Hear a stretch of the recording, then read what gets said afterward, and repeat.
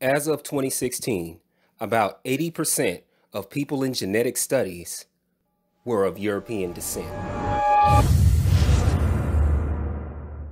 Science Magazine released this article right here. And uh, right here, they're discussing the misuse of African DNA by this British genetics lab, Wellcome Sanger Institute. Some whistleblowers uh, privately accused these people of commercializing gene chips without proper legal agreements and the consent of hundreds of African people who donated that DNA to develop the chip. Jantina de Vries specializes in bioethics. This person is correct when they say that what happened was clearly unethical, full stop. And of course, one of the whistleblowers was fired, along with a planned study of 100,000 Africans that somehow that study has now come to an end. I said, wow, 100,000 Africans would reveal a lot. So, of course, they're just going to decide that they're not going to do that. They're absolutely right, right here, when they say that the tragedy and the scandal is that the people who will pay the price are Africans. We see right here that it costs about 800 to $1,200 per person to sequence their entire genome.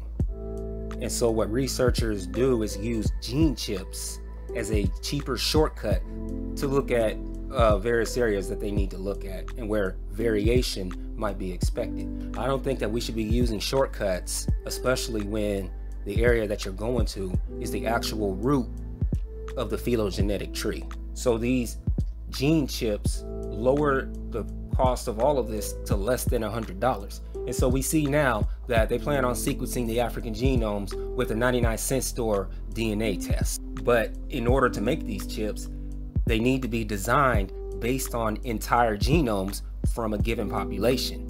And so we can see for ourselves that they need to use a real genome sequencing process before they can make the 99 cent store DNA tests. We see right here that it says they wanted to capture more of the variation on the continent. Now, this variation is something that the Eurocritics are always acting like they have their head stuck up their ass and saying, What variation are you talking about? They were going to use these new chips to study the genomes of up to 100,000 Africans, looking for genetic insights into things such as heart disease, diabetes, and high blood pressure. You know what? How about ancient history? Why? Because the data could benefit Africans and because populations in Africa are more diverse than other populations. And we also might contain genetic variants. You don't got to tell us twice.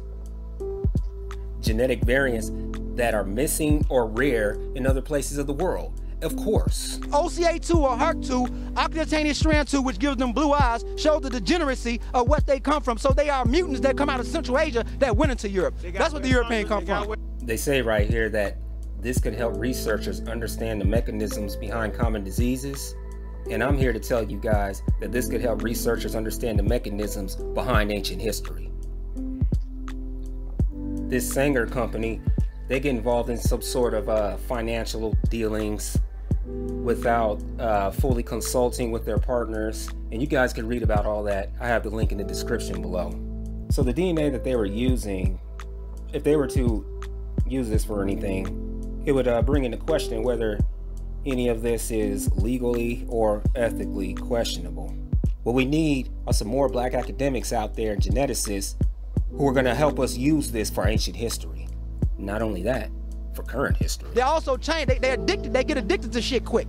That addiction is due to the Neanderthal gene variant because Neanderthals were very mimicky. They were they were they were kind of like they, they FOXP2 genes was fucked up. We see right here that they've already used one of these chips to screen 60,000 Africans to find gene variants linked to disease. Charles Rotimi is absolutely right when he says right here that we're just gaining traction when it comes to the African genome.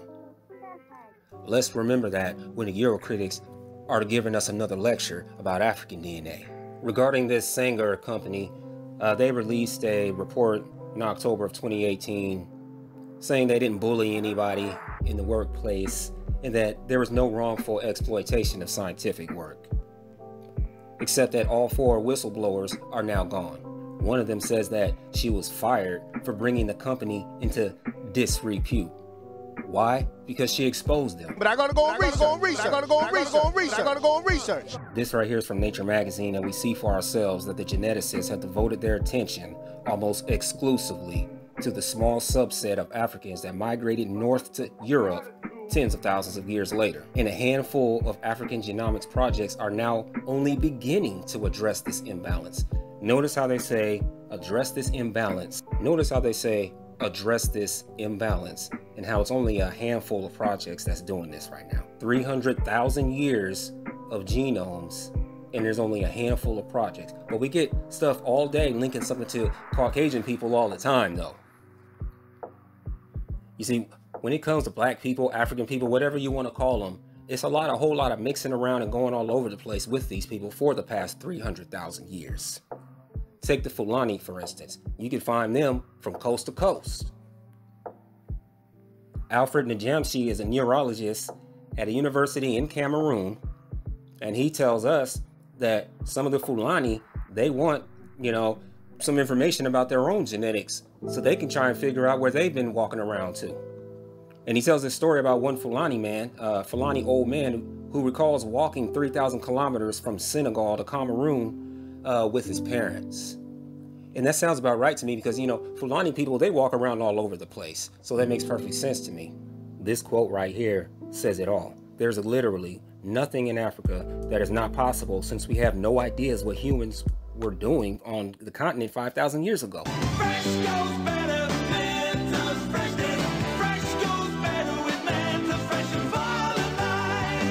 Mentos, the fresh maker. And that's what I've been seeing on this channel since the day I showed up. That these people have no idea what they're talking about. There's no evidence for what they're talking about. Also, you guys know nothing about African DNA. And it's like the guy said right here. I like this quote right here where this genetic epidemiologist tells us that there's nothing in Africa that's not possible since we have no idea what humans were doing on the continent 5,000 years ago. You know, that was Egyptian times, right?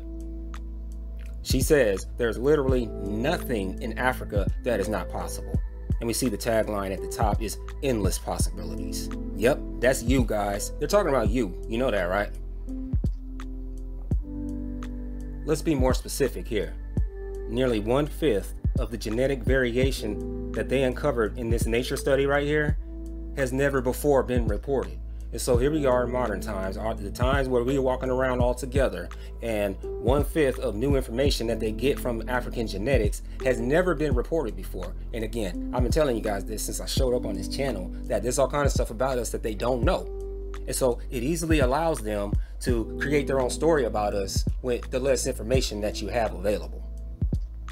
So the findings for that study uh, suggested that there was intermingling uh, 30,000 years ago between the Hadza and the San in southern Africa and the Baka in central Africa. So they're over here talking about southern Africa and central Africa 30,000 years ago that uh, they're suggesting that, you know, there was some sort of intermingling amongst hunter gatherers. And all of that aligns with signals of mixed Hadza and San ancestry in DNA that they extracted from 2,500 to 8,100 year old human remains. This is when the Eurocritics step in and they say other researchers want to see further statistical analysis of the data before they accept the notion that the Hadza, the San, and the Baka overlap geographically. I'm gonna ask your question. Do you have proof or a method now, to show and prove? Of course, we always need new data, but you know, automatically though, when it comes to anything African, we need to remember that they always use this type of language before they accept. I'm telling you guys right now that we don't need permission from them anymore. All right, you guys got to stop letting them do that. All right, and uh, this lady Dipti she says that earlier studies have given little indication that people from these groups mix together. And the reason why is because there's all kinds of stuff that has never been reported, never been seen before. You know, and they start off with the European model by studying all types of non-African people and adding them to the mix all the time. And we saw it right here where they basically admit that they have a Eurocentric model. And so we see no indication of that before, but you see that whenever they just start studying a little bit more, start pushing, you know, the goalposts a little bit further, all of a sudden it starts revealing things that they don't want. Creating a phony hierarchy where you have certain sections of Africans that never knew each other in life and don't even know how each other look. You know, they're always coming up with these own little sections. They have their little favorite Ethiopian section. They have their North African section. They have their Negro lands. You feel me? Dipti she uh, finishes that with there's literally nothing in africa that is not possible since we have no idea what humans were doing on the continent 5000 years ago and you know there's a lot of meaning in that statement right there all right and so i just wanted to take this time you know to remind you guys not to let the Eurocritics ever give you and i'm talking to you any sort of lecture on African people, DNA, because you know these people are constantly running around giving us a lecture. Like, why the hell are you gonna go over here and give me a damn lecture? I mean, first of all, you have no idea what I'm what you're talking about in regards to my ancient homeland, and we don't even know where the hell you came from. What you might want to do is jump on the mic and go find out where the hell you came from. So they are the same species, they're just degenerate. Yep. If they wasn't the same species, we wouldn't be able to reproduce. And like people like Obama, Lenny Kravitz, all these cats would be sterile like the liger. That's what makes them the same species. They're just degenerates. They're mutants. Plus, they mix with archaic humans like Neanderthal, which gives them a high level of osteoporosis, uh, autoimmunity disorders, certain types of lupuses, type 1 diabetes, type 2 diabetes. White people are, have are more prone with type 1 diabetes being born with it, and then black people catching type 2 from eating high carbs, sugar, and all that other crap. Because of the Neanderthal gene. You can look this up. Some of the things we can take away from this is that a single study found that Nearly one fifth of the genetic variation uncovered in that study has never before been reported, has never before been seen. We also know that the geneticists have devoted their attention almost exclusively to the small subset of Africans that migrated north to Europe tens of thousands of years later. And they have also admitted that they need to address this imbalance. And Charles Rotimi is right as a genetic epidemiologist when he says that we're just gaining traction when it comes to the African genome and Africa, period.